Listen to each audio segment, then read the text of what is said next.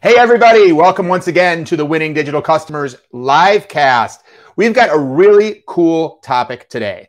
I want to talk about things that are going away and what you are going to need to do about it. So, first of all, what do I mean when I say things are going away? Well, we've gotten a lot of cool new things in our lives over the last few years whether it's drones, Alexas, Apple Watches, and of course, if you look farther back in the calendar, you've got broadband internet, you've got uh, smartphones, of course, a wide range of new, innovative ways of accomplishing things we need to do in our lives, whether that's shopping or banking or dating or whatever it may be. So that's fantastic. But you know, whenever we have these new solutions, inevitably there are some things that are displaced. And there are a variety of technologies or, or other things that used to be part of daily life and which, frankly, are just obsolete. They're no longer needed. And so, what we're going to talk about today is how can we think about and plan for what are some things that are part of our lives today but are becoming obsolete. But, but before we do, just to underscore this point that things do eventually go away, such as the telegraph, the Rolodex, the old phone booth, remember that? Where will Superman change now, right? Of course, the VHS tape. And, and I want to clarify one thing. When I say things are going away, are there still VHS tapes in the world? Yeah, somewhere or other. Maybe there's even still a phone booth somewhere. I don't know. It could have a, a, a, a fence around it so that nobody touches it since it's an artifact. You know, many times things that we would say have essentially gone away still exist at some very, very small niche level. Somebody out there is still playing VHS videotapes. But let's face it, the VHS videotape is no longer a part of main, mainstream media, no longer a part of business today in any significant way. And that's what I mean when I say something has gone away. There's somebody out there still using a roll of Kodak, Kodak film, and there's probably somewhere still walking around with a pager.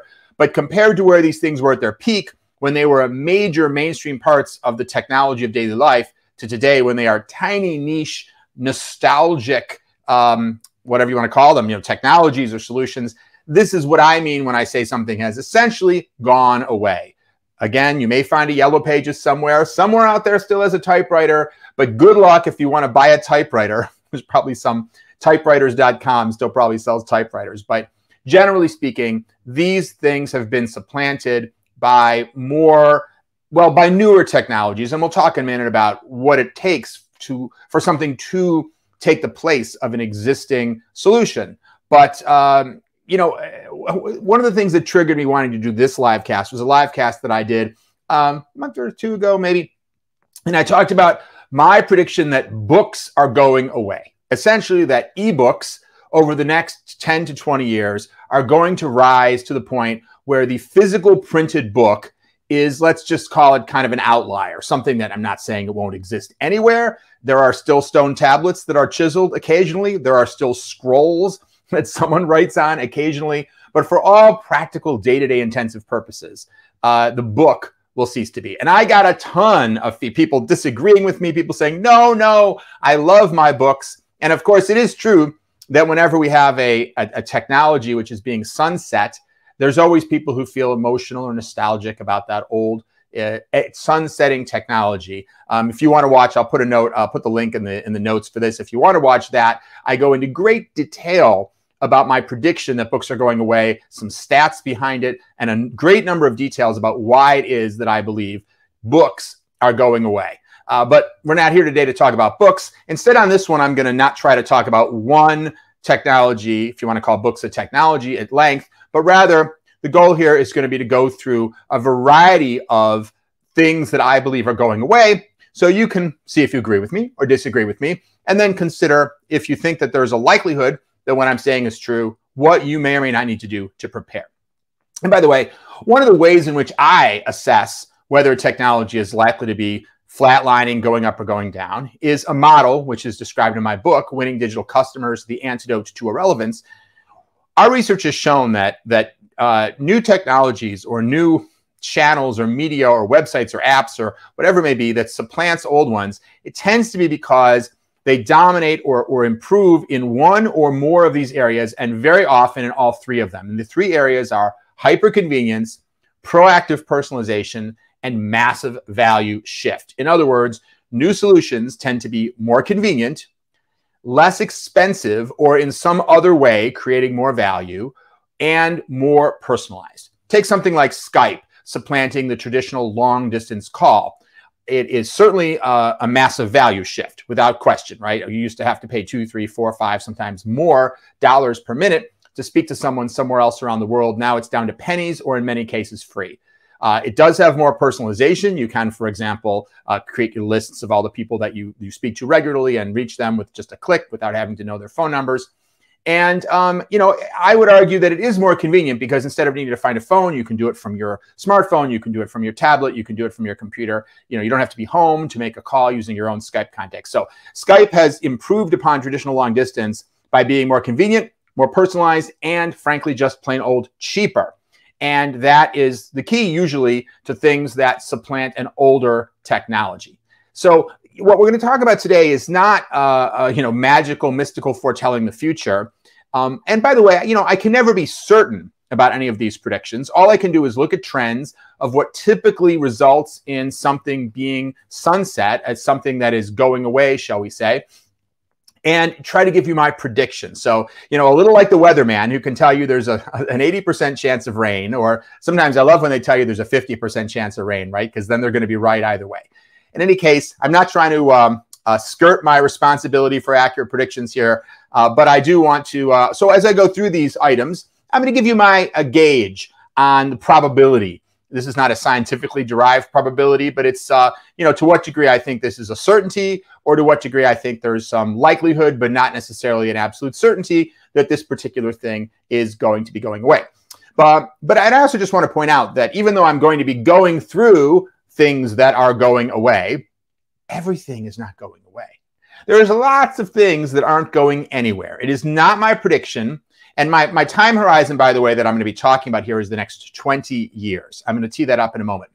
20 years from now, Howard predicts we will still have wrenches. We will still have faucets. We will still drive cars. We will still have refrigerators in our homes. Of course, they may be newer, cooler versions of these things. The car, of course, might be electric. The refrigerator might, I don't know, do all kinds of cool things that refrigerators can't do today. But fundamentally, uh, we are not replacing the car with some completely different mode of transportation or the refrigerator, et cetera. The way, for example, that the ice box, the pre-existing, the precursor to the refrigerator, which was a non-electric appliance into which you slid a large giant block of ice to keep your food cold. And every few days, a delivery man would show up and replace that giant block of ice. This would have been like in the 1910s or uh, you know 19 early 1920s, uh, because of course uh, that at one time was extremely popular and a major industry of companies having to deliver all that ice to people's homes. Today, of course, nobody does it that way. That has gone away, and we now have electric refrigerators in nearly every home in this country and probably in many countries around the world. So, what we're going to talk about today, my what I've teed up for you here, are 20 things that are going away over the course of the next 20 years. However, we are going to be breaking this into two parts because I want to cover 10 parts today. And then I will do another live cast where I cover parts 11 through 20 just for time because we want to be able to spend at least a couple minutes on each of these things. And, you know, we won't be able to do it in our usual time limit of a live cast if we uh, try to cover all 20. So 10 today and 10. By the way, while I have my second 10, my number 11 through 20, I would love to hear in the show notes. sorry, I would love to hear in the uh, comments First of all, if you disagree with any of the items that I've put in this list of 10 that I'm about to begin going over, and also what else you think belongs on this list. Because if I hear some great feedback from you guys about things that belong on the list, I still have the opportunity to uh, demote some from my second half of the list and put some even better ones in there. So I've got some good ones for you today, some good ones for next time, but I'm still I'm still listening. If someone has uh, something that you think is going away in the next 20 years, and you know, 20 years is a long time. Think about it like this. Where were we 20 years ago? 20 years ago, there was no no iPhone. That was before the iPhone came out. There might have been some very early smartphones like the the Treo, if you remember the was it from Palm or Kyocera? I can't remember. But anyway, very very early versions of the smartphone. The idea of video to your phone was just kind of this uh, notion. Uh, the content that we were delivering to phones was mostly like text messages sending you weather And I was probably at that time still walking around with an alphanumeric pager. So 20 years can be quite a long time. And uh, so 20 years from now, we could see quite a lot of change. Okay, with that, no more teeing up, no more pussyfooting. We're going to get into the first 10 of the 20 things that are going away in the next 20 years. Now, I'm going to start with a couple of easy, non controversial ones just to get you warmed up. And then I'm going to get you mad. no, don't worry. Puppy dogs are not going away in the next 20 years, I promise. But fax machines are. And in fact, that's such an easy one. You might even argue, Howard, come on, aren't they pretty much already gone? Well, after all, if you look at this graph, this shows the decline in the sales of fax machines in the United States. This only goes even through 2010. And at that point, it was less than one tenth of its peak. So clearly, fax machines have been dying for quite a long time. And yet, it was only last week that my wife, who is a psychologist and it winds up dealing with a lot of insurance companies, had something that she was required to fax to, I won't say their name just out of politeness, but to fax to one of the large health insurance companies regarding one of her patients. And no, she couldn't email it, and no, she couldn't mail it. It had to be faxed. and she's like, Do we even have a device in our house that can still send a fax? So fax machines are still hanging on by their fingernails, mostly due to uh, resistance to change. But uh, I remember when I first got one of my first jobs, I was working for BMI Music, it's probably 20 years old, as like a temp helping out in uh, doing stuff for the people that were producing records there. And my job was to send faxes. And I remember having to send faxes to MTV regarding music videos for artists like the Red Hot Chili Peppers. And I remember sending the fax, and I hadn't made sure the pages were like completely straight going through the fax machine. So I guess MTV had gotten the pages and they were like just a tiny bit crooked, and I got in big trouble. I almost lost my job for not properly operating the fax machine. So they were hugely important to business at one time. Today they're pretty marginal, but I'm going to give this I'm going to give this a 100% probability that 20 years from now these things will have gone the way of the telex. There will be no more fax machines except at the Smithsonian or, you know, one old person down the block that's still keeping their fax machine. But that is it. Fax machines are toast in the next 20 years. Okay. Now, let's move on to one that I'm 90% sure about, which is landline telephones. We've seen, of course, over the years, the decline of the landline telephone already. Back in 2004, not that long ago, the uh, over 90% of all homes in the US had landlines. Today, it is only 36.7%. And if you follow that line down, because you can see it's a pretty, it's a pretty uh, straight line, right? You follow that line down, there's no question that even within 10 years, the existence of landlines will be will be marginal. And I think certainly safe to say, in fact, my 90% may even be a little bit conservative, that within 20 years, we will no longer see any kind of traditional landline in the home. And you know, by the way, you might ask yourself, well, what do I care? What does it matter to me? Well, of course, if you're in the landline business, it matters a lot. And those people are probably already paying attention to these statistics. And I don't know what your business is, but whatever it is, to the degree you depend on fax machines or landlines, and again, we're going to get to some more controversial stuff in a minute, it means that you need to be starting to think about how to go through some kind of digital transformation, how to be ready for what's next, how to not to stick with uh, you know this, these sunsetting technologies. And no doubt you're going to want to transition off them long before 20 years from now. In fact, these are two technologies you probably want to be moving away from right now, or perhaps already have. There are many far superior digital telephony systems, for example, that give you all kinds of flexibility as people are working from home, voice over IP, et cetera. So you're not relying on landlines. Let's move on to some more, perhaps uh, less obvious stuff.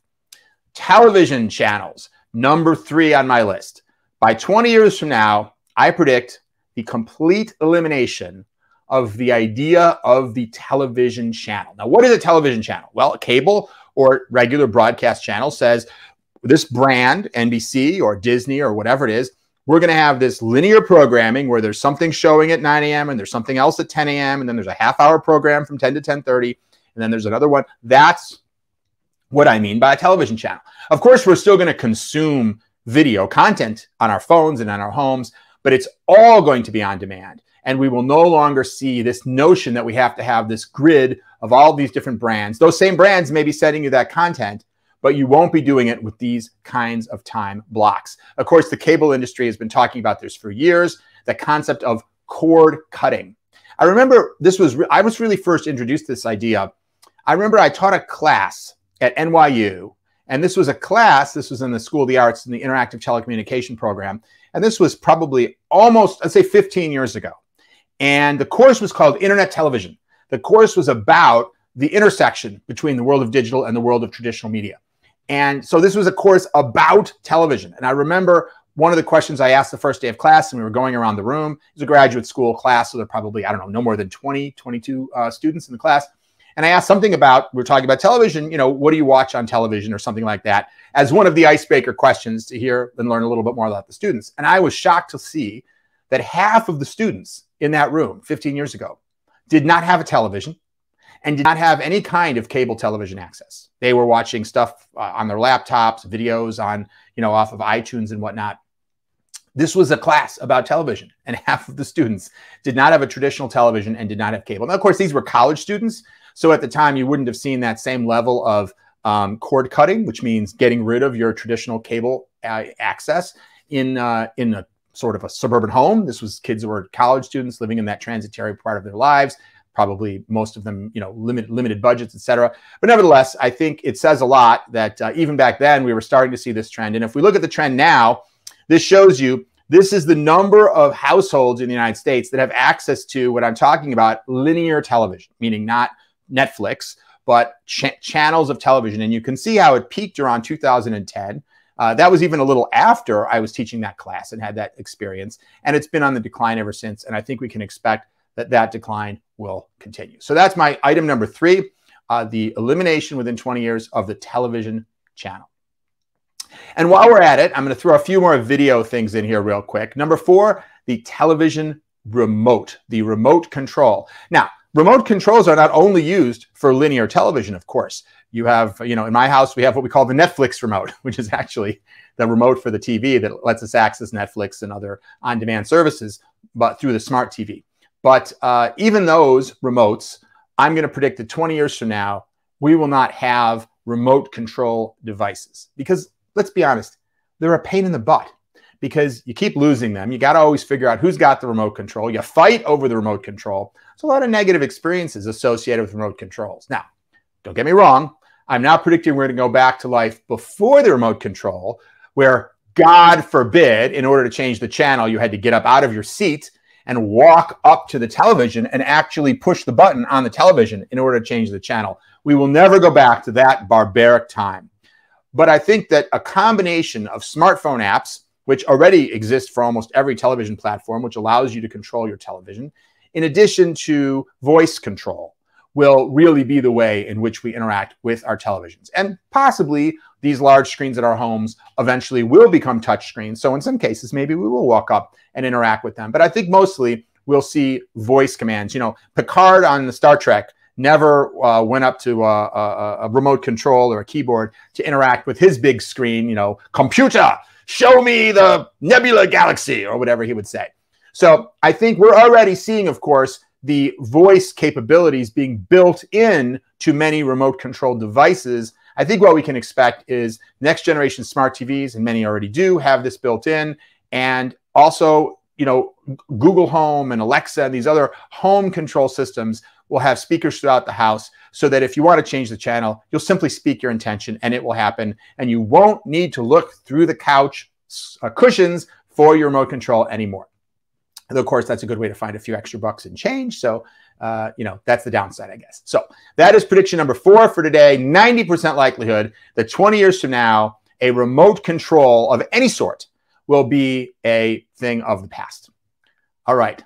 And number five, those screens on airplanes in front of you. I think uh, those are already starting to disappear. I see brand new planes being purchased by, I mostly fly United Airlines, many of which no longer have those screens because they realize – that so many customers are carrying screens with them, iPads, computers, and other things that they can connect to the plane's Wi Fi network. That just isn't worthwhile. In fact, I love this picture because this is obviously an old picture. It actually has one of those um, airphones. You know, you remember years ago, uh, planes also had those little telephones where you could make kind of the equivalent of a satellite cellular call. Crazy expensive. I, I probably used them a couple of times in my life. Never really seemed worth the, the cost. It was like 10 bucks a minute. But of course, we've already seen those go away. I haven't seen those in years. Those have already been removed from airplanes. And I think that uh, airlines increasingly will just decide that there's just not enough value. You know, I remember being a kid, and if you remember back then when you'd fly in an airplane, there was music, there were different channels of music that you could listen to, and they'd give you these headphones that were sort of like tubes. They weren't even wire electronic; they were just like like tubes that would go in your ears, and then there'd be this like plug with the two tubes that would plug into the seat jacket, and I guess the um uh, the seat the seat armrest, and I guess the um the actual speaker was in there and uh, they could sanitize those. Anyway, it was a big deal to be able to sit down on an airplane and see, oh, I've got 10 channels of music. Do I want to listen to rock or classical or news? Of course, all gone, no longer exists. And similarly, I think we're going to see the seat back entertainment consoles simply replaced by what already exists, which is on demand entertainment, which you connect to via Wi Fi and which is available on your own personal device. Okay. Number six, maybe this is a more controversial one, but one that I think is going to improve all of our lives. 80% probability that 20 years from now, there will be no more lines, right? No waiting in line. What a stupid way to determine uh, who, sorry about the ring in there. What a stupid way to determine who gets served next, whether it's to buy tickets or to get food or whatever you may do, be doing than to make human beings actually put their physical bodies in a row in order to know who's who's got the next. You know, this problem was solved 50 years ago by those little take a ticket numbers at a deli counter, right? And yet we still continue to see a, a, wide range of different applications, whether it's checking out at a supermarket or buying things at Macy's or getting your movie tickets or, or lining up to get into a stadium or going to a theme park.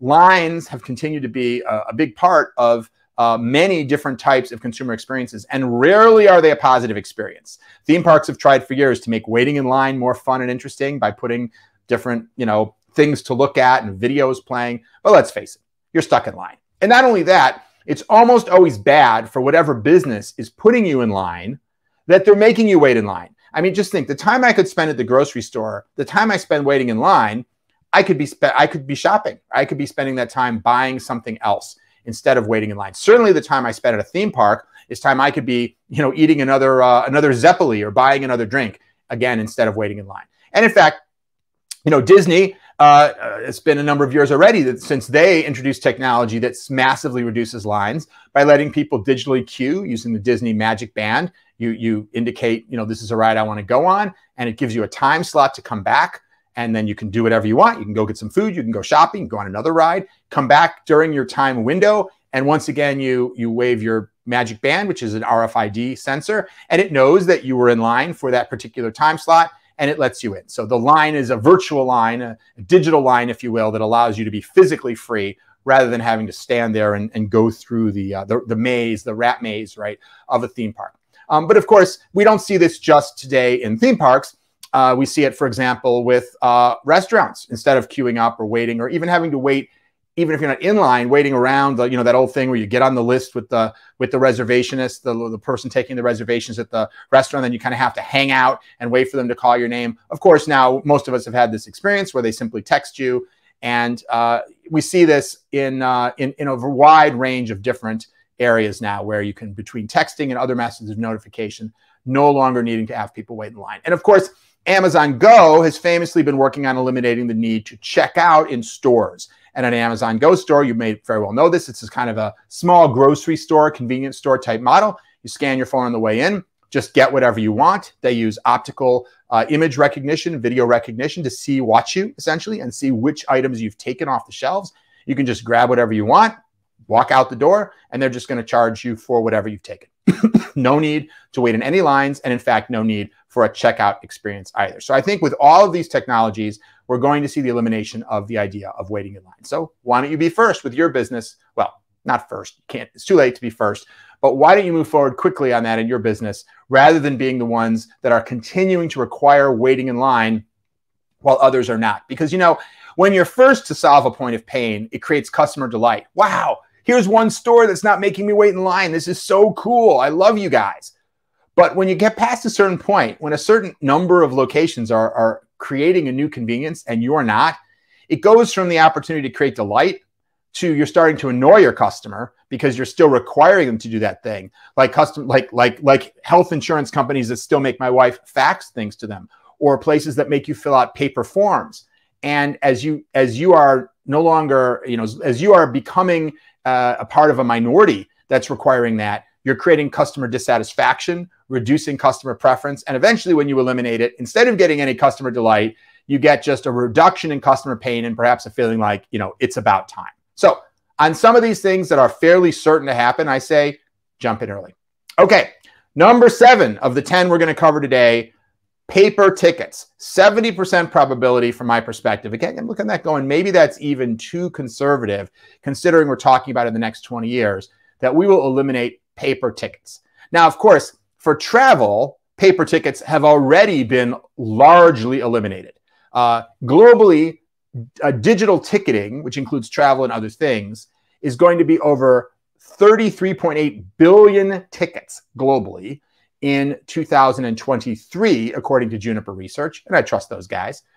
And that's up from 20.8 billion in 2021. So just from 2021 to 2023, we're going to see more than a 50% increase in the number of digital tickets. And of course, that's not mostly coming from travel because let's face it, travel was already heavily digital. So that means a lot of other types of ticketing other than your airplane e-ticket are going to go digital. Let's talk about Disney again. Your theme park uh, ticket from Disney, in addition, separate from the ride uh, waiting that we were talking about, can be done digitally. So you can get into the theme park using your phone. You don't need a physical ticket. And uh, and um, we see this in a lot of places. A Ticketmaster is now increasingly doing the your ticket is your phone. So if you're going to a sports game or you're going to a concert, they're increasingly pushing digital tickets through QR code scanning. And of course, we're going to see that move more into near field communications as well. But in any case, the main point is you're using your phone device to give you entry into whatever you've bought a ticket to rather than anything on paper. That reduces fraud. That means that if you buy a ticket at the last minute, they don't have to worry about how to get it to you. You don't have to wait a wait in line again at the will call window to get your physical tickets. They don't have to worry about someone leaving and handing their ticket to someone else because you know you're not going to give your phone to someone else.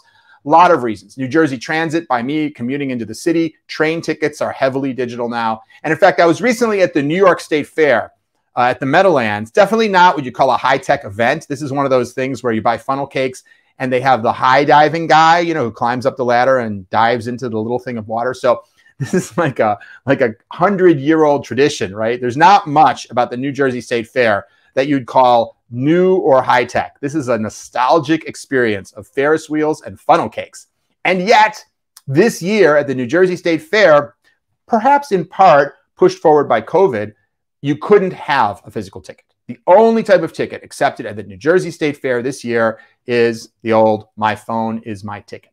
So this is a trend that I think is going to continue, and it's probably it's already substantial. And in the coming years, we're going to see just everyone who's still a holdout being reduced, reduced, reduced to the point that the idea of needing a piece of paper or cardboard to get into an event or to, or to travel is going to seem like a complete anachronism and will be gone certainly within the next 20 years, probably much sooner. All right, we are rounding the home stretch for today's list of 20 of the first 10 of 20 things that are going away in the next 20 years. Number eight is toll booths. Toll booths.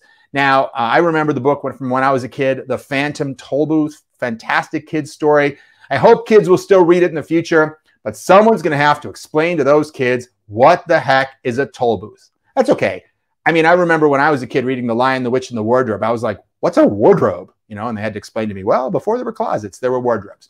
So in any case, so I, I, have hopes that that book will still continue. But uh, the reality is that there's already been, of course, a huge push over the last couple decades to have electronic to- uh, electronic payment of tolls for bridges and roads and things like that. It's a little bit similar to our ticketing situation, a little bit different as well, though, as it often involves a special dedicated device. Here in the tri-state area, they're called E-ZPasses. Wherever you live, there's probably some sort of little box that you get, you put in your car or you put it on your license plate, and that's how they know that you've gone through the, the, the toll gate and they can charge you the correct amount. And of course, there's many conveniences. Speaking of hyper convenience for the customer, because it means you generally don't have to queue up in your car. You can go more quickly through the uh, toll. And uh, it's also has a, a, value shift because usually they're able to charge you less for your toll because they have eliminated some of the costs of all the people that would normally have to take your money, not to mention all the mon- uh, cost associated with handling all of that money. So, um, and now, of course, we're seeing, and this is not even new either, but is uh, being further proliferated. We're seeing the, uh, the, the uh, expansion of these kind of, I'm not even sure what the word for them is, but instead of even going through a toll booth, there's simply sensors across the top of the road where you don't have to slow down at all. You simply continue to drive your car at full speed, 50, 60, 70, 80 miles an hour, however fast you drive your car. And uh, it is able to simply detect that you've passed that checkpoint and appropriately charge you for the use of the road. Um, so this is another uh, example where uh, it's already underway, but of course there still are toll booth operators. But I have to say, just yesterday I drove my son into New York City and I saw for the first time that in, at the George Washington Bridge crossing, they appear, at least in the in the spur that I was on, to have eliminated even the physical payment booths, and they have either E-ZPass or Pay by Mail. So for the relatively small percentage of people who go through that uh, toll toll and don't have an E-ZPass device, it scans their uh, license plate and it sends them a, a bill in the mail. And that way they can completely eliminate the need for anybody to be standing there at a toll booth taking your money. And while on the one hand, it seems a little sad because of the jobs elimination uh, between you and me. And I mean, let's be honest, those are pretty bad jobs, sitting there uh, breathing in car exhaust all day long. So hopefully those people can find better jobs. And meantime, uh, there's a lot of cost savings and increased efficiency associated with the ability to uh, to have electronic tolls. So that was that prediction. The elimination of any kind of traditional toll booth within 20 years. We're rounding the home stretch here. You can see why we had to break this into two parts. Number nine, parking meters. Now, this might be a little bit more controversial, but in the same vein as the eliminating elimination of toll booths, parking meters have become more digitally savvy over the last number of years, where you can use credit cards, and many places instead of having a separate payment meter at each location, they're able to have just one on each block, almost like an ATM machine where you go get a ticket, put it in your car. But I believe that even that will be unnecessary. You could argue that that is already exampling uh, an example of the elimination of parking meters it's not really a meter but I think it's going to go even farther to the point where we can simply use our phone, scan a QR code that may be embedded into the sidewalk or something like that, and pay with with uh, Venmo or something like that for our for our parking uh, on the street. Um, or in the future, it may be that smarter cars have the technology in them to simply interact with uh, whatever metering system it is and pay for our parking, hopefully prevent us from getting a ticket and eliminate the need for all of those ugly metal boxes, eliminate the need for people who have to go around and collect the stuff from them and everything, and eliminate the need for us to have to worry about carrying change or dealing with, uh, you know, going through a payment process every time we park our cars. Okay, we are to number 10, which is keys. Keys. My prediction 70% probability. So I'm not promising you this is correct. 70% probability that 20 years from now, no more physical keys. Of course, we still need to control access to things. Most people know that uh, if you've bought a car anytime in the last few years, generally speaking, they come with some kind of electronic access, a fob of some sort, which you, in this case, in this picture, is being used to sort of manually open the car, but generally doesn't even require that. You just keep it on your person. It detects that the, the fob is nearby and it allows you in. I would argue this is the elimination of a physical key. More than 80% of vehicles today that are manufactured use some kind of electronic key fob, according to the BBC. And I fully predict that with respect to vehicles, that will go to 100% within the next few years, long before the 20 year time horizon we're talking about today. But it's not just uh, uh, electronic fobs. Many cars today also allow you to unlock them with your smartphone. Certainly, uh, businesses like um, uh, Zipcar are entirely reliant on this ability for you to rent a car and unlock it with your smartphone. And I think that in addition to fobs, you will increasingly be able to use your smartphone as well across not just an occasional model of car, but across all cars. And you won't even need a fob if you would rather not carry one with you. Beyond vehicles, we see today that many hotel chains are in the process of enabling smart locks across almost all of the rooms. Marriott and Hilton had both committed to have it done before the end of 2020. I don't know for sure if they've 100% completed those projects, but essentially, the vast majority of hotel rooms, certainly here in the United States and in other technically advanced countries, will allow you to open your hotel room with your phone without necessarily needing to have any kind of physical key, even a card physical key, but to be able to simply use your phone, saving you even the need to go to the front desk and check in. You can check in in advance and simply get to the hotel and go right to your room, which of course is an example of hyper convenience. And beyond hotel rooms, more and more homes are being enabled with smart locks as part of a broader trend to move towards smart homes. This is not an overnight change. Of course, people don't necessarily run out and redo the locks on their homes unless they have a good reason but it's already happening. I do have smart locks on my home, for example, and those create many conveniences, such as the ability to give a temporary code to somebody who has to come do work in your house or deliver a package, the ability to keep a record of who comes and who goes at what time, and again, the ability to open your door with either a code and or a phone and not have to remember to carry something around in your pocket that's going to jangle and, you know, possibly uh, uh, get caught up with things in your pocket and all that kind of stuff. So that was number 10, the elimination of keys, physical keys. So what else? Uh, I'm getting ready to do part two. Hopefully, you've enjoyed part one. I would love to hear if you totally disagree with me on any of these items. By all means, put your notes in the comments. And also, let me know if there's anything that you strongly believe belongs in part two. I'm still finishing up part two, and I would love to hear your thoughts.